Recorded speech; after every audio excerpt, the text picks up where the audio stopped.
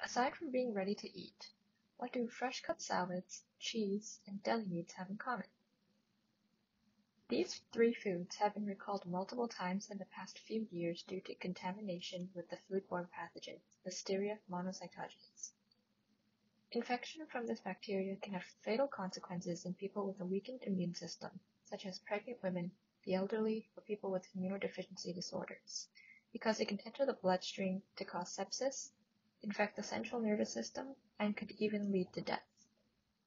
In pregnant women, it can infect the fetus and cause miscarriages. Listeria monocytogenes is capable of these serious effects thanks to a set of proteins called virulence factors.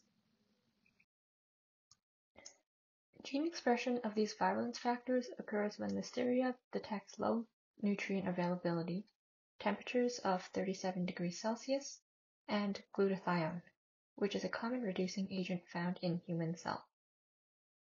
By mimicking the temperature and glutathione requirements for virulence gene expression, I compared the effect of different protein types on a reporter strain that expresses red fluorescent protein when the virulence gene ACT-A is expressed.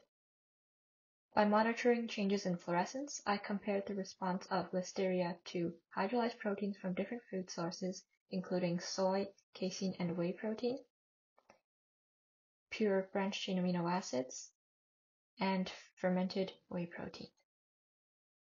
The results from my experiments showed that hydrolyzed protein inhibited ACT-A gene expression regardless of the food source, whereas free branched-chain amino acids had no effect. Protein fermentation did not decrease ACT-A gene expression and did not decrease the effectiveness of the hydrolyzed whey protein.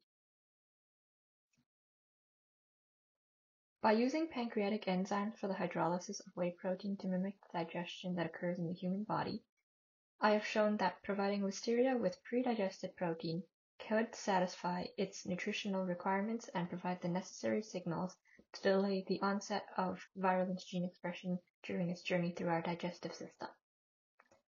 This may reduce the ability of Listeria to infect cells and limit its spread to other parts of the body.